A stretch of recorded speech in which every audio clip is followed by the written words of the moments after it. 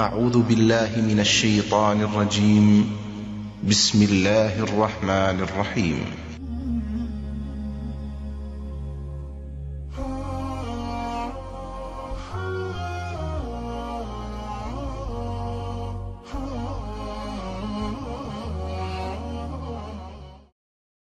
ওয়ালাইকুম আসসালাম রহমতুল্লাহি ওবরাকাত সম্মানিত আমিনুল ইসলাম ভাই, ওমান থেকে আপনি জানতে চেয়েছেন যে ভাইদের কাছে দাওয়াতের কাজ পৌঁছাতে গেলে যারা শেরেক বেদাতে লিপ্ত আছে, তাদের কাছে দাওয়াতের কাজ পৌঁছাতে গেলে তারা ব্যঙ্গ বিদ্রোহ করে অনেক ধরনের কথা বলে, তুমি এই হয়ে গেছো সে হয়ে গেছো হ্যাঁ তুমি আলাদিস হয়ে গেছো, তোমার তবা করতে হবে, অথবা তুমি এই ধর্ম ত্যাগ করছ তুমি আলেমদেরকে মানো না।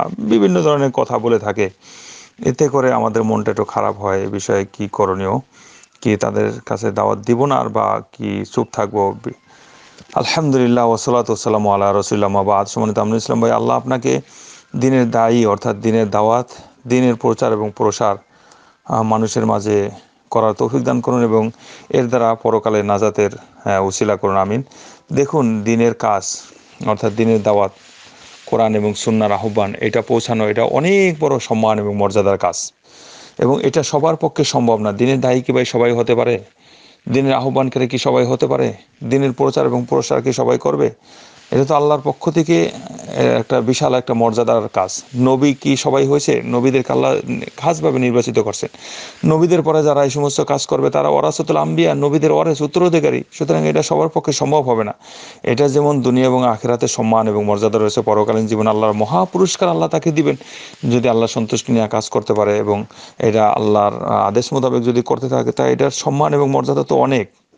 সুতরাং এত সম্মান এবং মর্যাদা যেহেতু এটার সাথে লিপ্ত আছে বা আর কি সম্মান এবং মর্যাদা যেটার সাথে জড়িত এবং এটার সাথে সংশ্লিষ্ট করা আছে, অতএব এটা কাজ করতে গেলে তো এটার অনেক ত্যাগ স্বীকার করতে হবে, অনেক কষ্ট স্বীকার করতে হবে, অনেক সবুর করতে হবে, অনেক ধৈর্য ধারণ করতে হবে, অনেক বিষয় কথা শুনতে হবে। যেগুলো নবীরা শুনেছেন, নবীরা ত্যাগ স্বীকার করছেন। দেখেন প্রত্যেকটা নবীর ইতিহাস পড়ে দেখেন। সব পূর্বেরটা বাদে। আমাদের নবী কত ত্যাগ স্বীকার করছে, এটা কি বলে শেষ করা যাবে? বলেন, ইতিহাস পড়লেই তো জানা যাচ্ছে, হাদিস পড়লে, কোরআন পড়লে জানা যাচ্ছে। সুতরাং এটা অনেক বড় দায়িত্ব।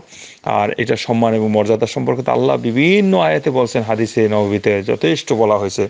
ওমান আহসানু কৌলান মিম্মান দা ইলাল্লাহ। ওই ব্যক্তির সে উত্তম কথা আর কার হতে পারে বলেন? যে যে ব্যক্তি আল্লাহর পথে আহ্বান করে, অকল ইন্নানি মিনাল মুসলিমিন এবং নিজেকে মুসলমান হিসাবে রাখে।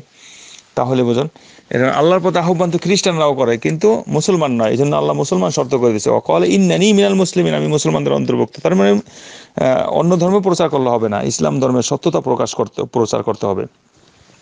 আর এই দিনের কাজ করতে যে নবী সাল্লাহ আলাইসালাম তো অনেক সময় মন খারাপ করেছেন, বিভিন্ন কথা ইতে ইতে, আচরণে ব্যবহারে তাদের এই জন্য আল্লাহ রব্বুল্লা আলমিন নবী সাল্লাহ আসলামকে সান্ত্বনা দিয়ে সুরা হিজরের সুরা হিজর হলো পনেরো নম্বর সুরা, চোদ্দ নম্বর পাড়ায়। সাতান্ন নম্বর আয়াতে আপনি খুলে দেখেন অনুবাদ। আল্লাহ রব্বুল আলম এখানে বলছেন ওলাকত না আলমু আন্নাকা ইয়া ইয়াদিকু সদরুকা বিমা ইয়াকুলুন। আমি তো জানি যে তারা যা বল, বলে তাতে তোমার, অর্থাৎ আপনার মন, আপনার অন্তর সংকুচিত হয়। অর্থাৎ আপনার তাদের কথায় যে আপনার মনটা একটু সংকুচিত হয়, মনে যে ব্যথা পান, কষ্ট পান, মনের মধ্যে আপনার একটু খারাপ লাগে, এটা তো আমি জানি অবশ্যই। তো দেখেন, নাবিকে আল্লাহ সুবাহ কত সুন্দর করে বলছেন অতএব এদের কথা নিয়ে আপনি চিন্তা করেন না। ফাসাব্বিহ বিহামদি রব্বি ওয়াকুম মিনাস সাজিদিন। সুতরাং আপনি আপনার প্রতিপালকের প্রশংসা দ্বারা তার পবিত্রতা মহিমা ঘোষণা করেন এবং সেজদাকারীদের অন্তর্ভুক্ত থাকেন। আরও দেখুন, লোকমান আলাইসালাতাম তার ছেলেকে যে সমস্ত উপদেশ দিয়েছিলেন এবং সেখানে দাওয়াতের ক্ষেত্র সেখানেও তুলে ধরছেন। সেরেকতে প্রথম উপদেশ ছিল সেরেক করিও না। এবং ওয়ামুর বিলমার ওয়ান হানিল মুনকার এবং দাওয়াতের ক্ষেত্র তুলে ধরতে বলছে, ভালো কাজের আদেশ করো এবং অসৎ কাজ থেকে নিষেধ করো। তারপরে যে আদেশ ছিল যে ভালো কাজ করতে যে অর্থাৎ এই ভালো কাজের আদেশ দিতে যায়, সৎ কাজের আদেশ দিতে যায়, অসৎ কাজ থেকে নিষেধ করতে যে, তোমাকে তো অনেক কিছু সবুর করতে হবে, কথা শুনতে হবে অত্যাচারের শিকার হতে হবে, জুলুমের শিকার হতে হবে অনেক কিছু। তাই এই কথাটাও এখানে অ্যাড করা হয়েছে। অসবির আলামা অসবাক যে তোমার এই বিপদ আপদ, দুঃখ, চিন্তা, পেরেশানি বা কষ্ট, ক্লেশ, অর্থাৎ অত্যাচার, জুলুম, কথার মাধ্যমে হোক, দেখার মাধ্যমে হোক ধমকের মাধ্যমে হোক, যা কিছু আছে এই বিষয়ে তুমি সবুর করো। এই জন্য এই বিষয়ে সবুর যে যদি কোনো না করতে পারে, তাহলে দাওয়াতের ক্ষেত্রে হবে না। দাওয়াতের ক্ষেত্রে যেমন হেকমত দরকার, জ্ঞান দরকার, কৌশল দরকার, ধৈর্য দরকার, সহ্য দরকার হেক এবং এবং এখানে সবুর দরকার। অনেক গুরুত্বপূর্ণ। না হলে মানুষের কাছে মানুষ অনেক আজকে বাদে কালকে, দেখুন অমুসলিমরা তো বলে, কিন্তু মুসলমানরাই তো আজকে অনেক ধরনের কথা বলে। তাদের কাছে জ্ঞান নাই। যার কারণে তারা এই সমস্ত কথা বলবে। আবার যখন হেদায়তের পথ চলে আসে, আল্লাহ তাদের হেদায়ত দিয়ে দেয়, তখন আপনাকে জান দিয়ে, অন্তর দিয়ে ভালোবাসে। প্রথম প্রথম তো আপনার বিরুদ্ধে কত কথাই বলে থাকে। আপনাকে কাফের বলবে মোর্শেক বলবে, এই বলবে সেই বলবে, পথভ্রষ্ট বলবে, তোর এই করতে হবে, তোরে মারবো, তবা করতে হবে, এই করতে হবে আরও বহু ধরনের কথা বলে। সুতরাং মন খারাপের কিছুই নেই এটা বিষয়। আর দ্বিতীয় আর একটা বিষয় এখানে প্রাসঙ্গিক ক্রমে বলাটা জরুরি, কেন আপনি মন খারাপ করবেন? আপনি তো কাজ করতেছেন আল্লাহ সন্তুষ্টির জন্য। সুতরাং আল্লাহ সন্তুষ্টির জন্য আপনি পৌঁছাই দিয়েছেন আলহামদুলিল্লাহ। আল্লাহ সন্তুষ্টি এসে গেছে আপনার। আপনি আল্লাহর খুশির জন্য আল্লাহ রাজি খুশির জন্য, আল্লাহর রেজা রেজামন্দির জন্য আপনি আল্লাহর কথাটা পৌঁছাই দিয়েছেন।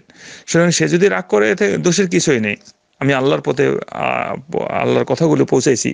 সুতরাং কে মানলো আর কে না মানলো, এই বিষয়ে দায়িত্ব আপনার না। হেদায়ত দুই প্রকার, হেদায়ত তৌফিক আর হেদায়ত দালালাতে বলে সাত একটা পৌঁছানোর দায়িত্ব, এই মানুষকে সঠিক পথে আহ্বান করা, পৌঁছানোর এটা আমার আপনার কাজ। আর তৌফিক আল্লাহর পক্ষ থেকে, এটা সবাইকে আল্লাহ তৌফিক দিবেন। যে দিবেন সেই পাবে। এই দিন আসরাতুল মুস্তাকিম, আল্লাহ আমাদেরকে সরল সোজা সঠিক পথ দেখাও। সুতরাং সরল সোজা সঠিক পথ, এটা এটা অনেক বড় নিয়ামত, এটা সবাই পাবেন। আল্লাহ যাকে তৌফিক দিবেন সেই তো পাবে।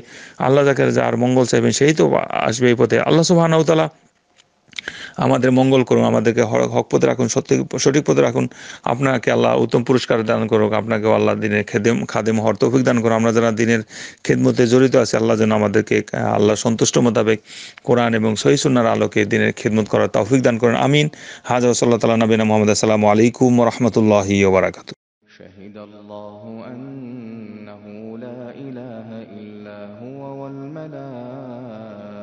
وأولو العلم وأولو العلم قائما بالقسط لا إله إلا هو العزيز الحكيم إن الدين عند الله الإسلام وما اختلف الذين أوتوا الكتاب إلا من بعد ما جاء